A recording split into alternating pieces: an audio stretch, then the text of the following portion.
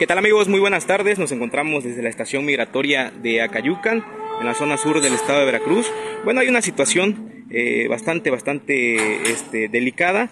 Una menor de 12 años de edad que es este, originaria del municipio de Benemérito de las Américas de Chiapas, pues fue confundida con una migrante este, por autoridades migratorias, esto en un filtro de vigilancia en la carretera Ocosocoautla, Las Chuapas. Y bueno, esta situación pues ha preocupado a los familiares que se encuentran, en este caso, la abuelita de esta adolescente, doña Edilia López Alcudia, que pues, se encuentra en la estación migratoria y lamentablemente pues no ha sido atendida por las autoridades correspondientes. Ella en este momento pues va a hacer un llamado a este al pues, a las autoridades encargadas de esta estación migratoria. Bueno y desde luego nos va a contar un poco de la situación que están viviendo que le ha mermado pues económicamente y también pues eh, mantiene la preocupación por saber cómo está su nieta.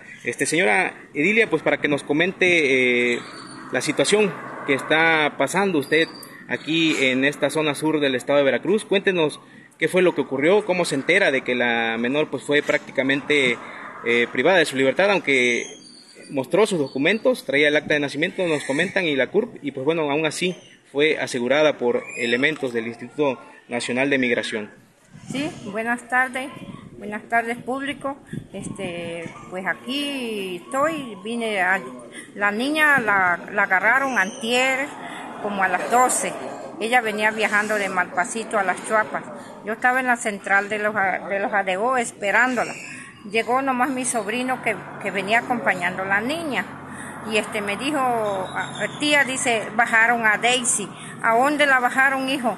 Allá la bajaron, dice, en el...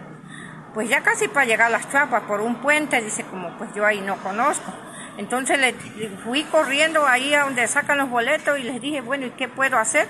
No, señora, no se preocupe, ahorita sale el carro para atrás. Me fui rápido, como dicen en el carro, y ya no topamos a nadie. Y la niña trae sus papeles, trae su cur y su acta de nacimiento. Dice que le dijeron que se bajara entonces mi sobrino quería bajarse con la niña, le dijeron, cuidadito te bajes tú, porque si tú te bajas, tú sí te vas a ir a la cárcel, porque tú eres el pollero, dice.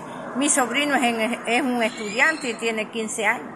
Y yo les pido mucho apoyo, que me apoyen para que me entreguen mi nieta, porque yo soy una mujer sola. Y este, empeñé mi solar para poder viajar y este quisiera yo que me atendieran porque ya desde la mañana llegamos aquí y ni siquiera me dan respuesta de nada si la tienen o no la tienen, cómo estará mi nieta de, de salud y es lo que pido y, y también pido pues que haya castigo para ellos porque es un abuso que hicieron. Esto no tiene perdón de Dios lo que hicieron ellos porque como dicen yo estoy sufriendo también nosotros los mantenemos vendiendo tamales, vendiendo pozol, vendiendo masa. Así me mantengo yo con la niña. Nosotros hemos pasado situaciones difíciles. Apenas tiene dos años que mi esposo murió. Y mire ahorita qué cosa fue lo que hicieron ellos. Yo quisiera que ustedes me apoyen.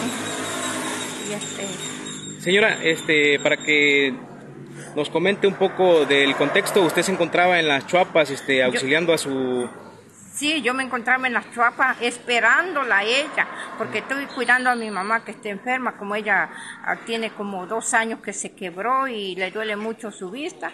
Ya mi mamá tiene 91 años, yo decidí no dejarla sola, pues, por eso yo no me fui a traerla.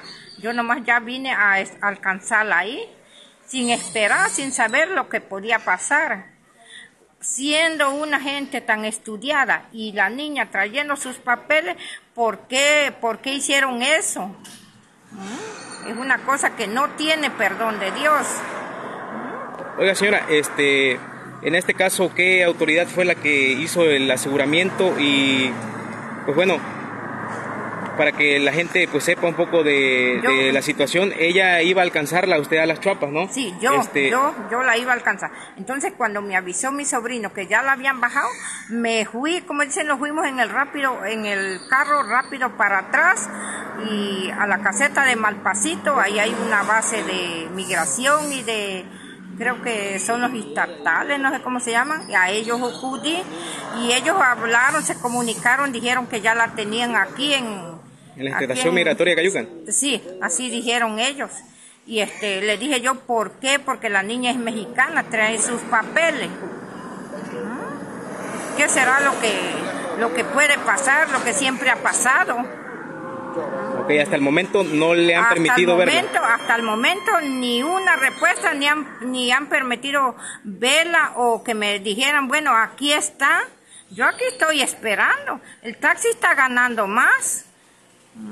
Ok, señora, pues ellos, ellos ojalá que se les ablandara el corazón y me repusieran ese dinero que, que yo estoy gastando para deber de volver allá porque pues con qué necesidad vengo yo a empeñar mi, mi solarcito que tengo por cubrir esta necesidad sin comer, sin beber, abajo de la lluvia. Estamos hablando de un hecho de abuso. Ese fue una, un abuso que hicieron, como que me secuestraron a mi niña. Como un secuestro lo tomo yo. ¿Qué edad tiene su nieta? Mi niña tiene 12 años. 12 años. Ella es, ¿Ustedes son originarios de dónde? De, de, de Benamérito, de las Américas, Chiapas. Ok, pues bueno, este, hacemos el llamado a las autoridades correspondientes, desde luego también a la Comisión Estatal de Derechos Humanos para que atienda esta situación. Hasta el momento la asistió el, el, el cónsul de Honduras. Sí, vino uno y este... pensaban que era, era sí, este pensaban que, migrante, era, ¿no? ajá, y no es, es mexicano. Yo lo que quisiera que me atiendan rápido, pues, porque ya la niña tiene tres días de estar incomunicada de nosotros y este y como le digo ya un viaje pues usted sabe cuánto cuesta.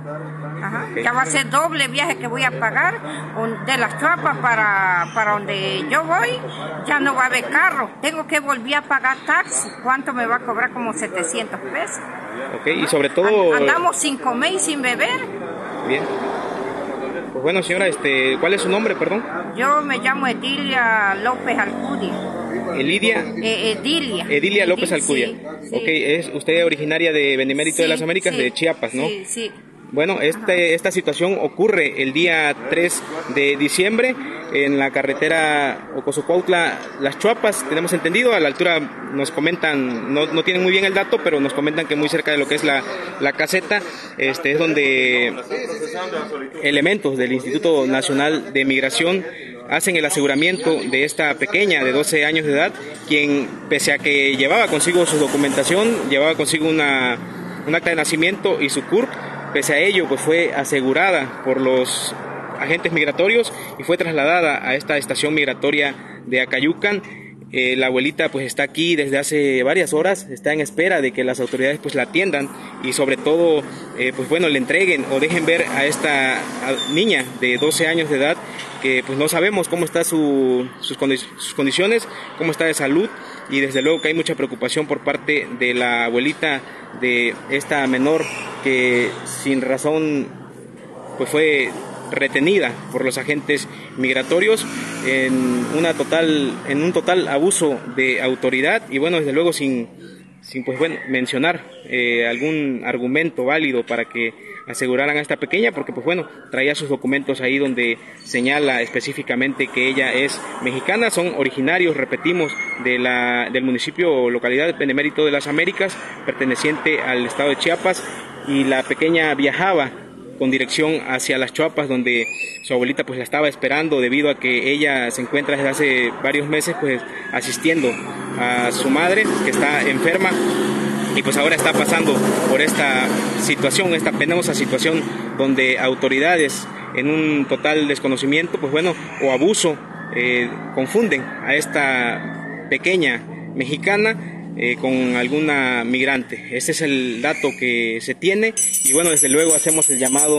a las autoridades eh, de los tres niveles de gobierno, sobre todo a las autoridades migratorias, hacemos el llamado a la Comisión Estatal de Derechos Humanos para que pues atienda esta situación que acontece aquí desde la estación migratoria de Acayucan, Veracruz. Vamos a hacer un pequeño corte a la transmisión amigos, vamos a estar muy al pendiente de este caso y en breves instantes pues vamos a darles mayores detalles sobre esta lamentable situación donde se registra un abuso más por parte de las autoridades migratorias en un retén muy cerca de las Chuapas, eh, donde fue asegurada esta niña mexicana, a la cual confundieron con extranjera. Saludos amigos, saluda Alejandro Ceja, vamos a hacer un pequeño corte y bueno, desde luego el llamado a las autoridades para que tomen cartas en esta situación, tomen cartas en el asunto.